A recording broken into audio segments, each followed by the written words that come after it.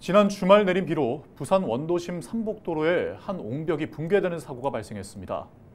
이런 가운데 27일부터 부산 지역에 본격적인 장맛비가 내릴 전망인데요. 삼복도로 일대 주민들의 걱정이 커지고 있습니다. 보도에 김한식 기자입니다. 4m가량 높이의 옹벽 앞에 쌓여 있는 돌 무더기. 푸른색을 띤 옹벽 일부는 황토색으로 변해 있습니다. 지난 22일 집중호우로 옹벽 일부가 무너져 내린 건데 이번이 처음이 아닙니다. 쿵 소리가 났어요. 그래가지고 내다 보니까 저기 지금 3차째 무너졌거든요. 그 앞에도 두 번 또 무너졌었어요. 그런데 조금씩 넘어졌는데 이번에는 완전 돌이 지금 보다시피 큰 게 사고 이후 닷새가량 지났지만 무너진 돌무더기는 그대로입니다.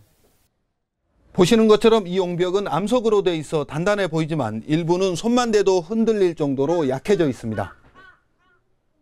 곳곳에 균열이 생겼고 붕괴된 부분에 손을 대자 토사가 쓸려 내려갑니다. 붕괴 이후 안전조치라고 해봐야 옹벽 위에 작은 천막을 덮어놓은 게 전부입니다. 이런 가운데 27일부터 장맛비가 내린다는 소식에 인근 주민들의 불안감은 커질 수밖에 없습니다. 아이고 요 불안하고 요 무섭고 그래. 비가 오면은 이제 어떻게 하나 싶어. 이것도 배지가 튀어나와 있거든요. 그런데 무서워요. 잠을 못 잔다. 붕괴된 옹벽이 빈집. 건물 앞 콘크리트 구조물에는 시뻘겋게 녹이 쓴 철 구조물이 그대로 드러나 있습니다.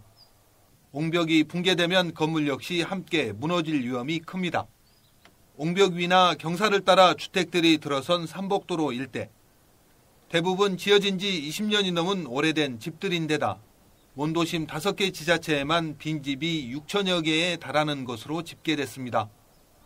관리가 되지 않아 집중호우가 오면 붕괴 우려가 클 수밖에 없는데 지난해 7월에도 부산의 한 주택가 담장이 무너져 바로 아랫집을 덮치는 사고가 발생하기도 했습니다.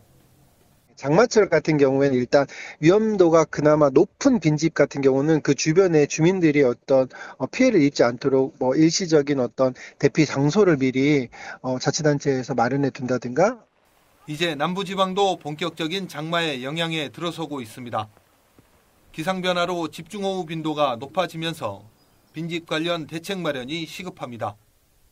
헬로티비 뉴스 김한식입니다.